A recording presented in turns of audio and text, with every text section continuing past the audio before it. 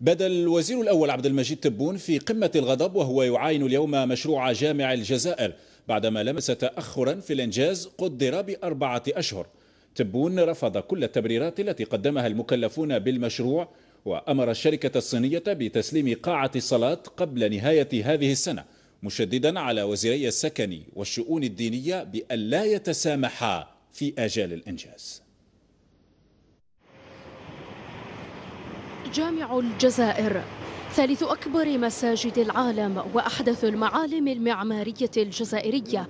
سيستقبل أوائل المصلين شهر ديسمبر المقبل. هدف حددته الحكومة بإلزام الشركة الصينية المكلفة بإنجازه بتسليم الشطر الأول من المشروع قبل نهاية السنة الجارية.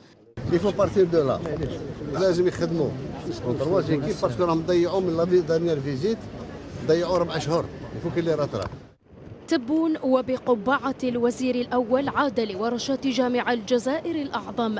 لكن هذه المرة بلهجة المنتقد لوتيرة أشغال الإنجاز. انتقاد عصف بالمدير العام للوكالة الوطنية لإنجاز جامع الجزائر الكبير محمد قش عبر إقالته. Ministre de l'Habitat ou le ministre des Affaires religieuses يرجعوا le 15 août Voilà ce qui aurait dû être fait, voilà ce qui aurait dû être fait, voilà ce qui aurait dû être fait. Globalement. Ça, c'est des délais que j'accepte pas.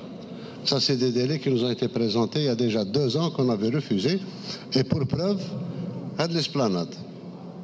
Le mur de clôture était resté ouvert. Le temps qu'on fasse l'entrée du, le, tuf, etc., il devait terminer il y a, il y a un mois qu'il devait revêtir.